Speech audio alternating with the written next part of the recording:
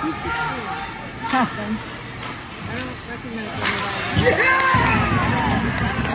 That's how to end that shit.